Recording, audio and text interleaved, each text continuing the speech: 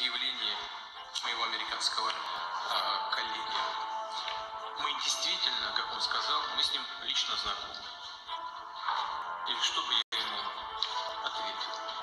Я бы сказал ему, будьте здоровы. Я желаю ему здоровья. Говорю это без иронии, без шутки.